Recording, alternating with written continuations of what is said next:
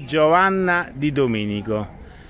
Verrai eh, a suonare stasera a Positano, è una delle tue prime esibizioni penso dopo, dopo il Covid. Eh, parlaci un po' di te, che cosa suoni, che cosa hai fatto finora e come ti senti a stare qui a Positano.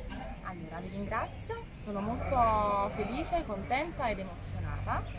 Dopo tanto tempo che posso condividere con la mia famiglia e un ritorno alla musica, delle emozioni, grazie comunque anche ai colleghi che collaboreranno a questa serata molto bella ed emozionante. Che cosa ci suonerai stasera? Stasera, insieme ai altri due maestri, uh, suoneremo brani famosissimi come Caruso di Lucio Dalla, I Will Always Love You di Whitney Houston e tanti altri brani. E non ci resta che invitare tutti a venire stasera. È stata una bellissima esperienza conoscerti e vedere il tuo sorriso di felicità, soprattutto esibirti dopo tanto tempo, vero? Come l'hai passato questo periodo del Covid? Come è stato?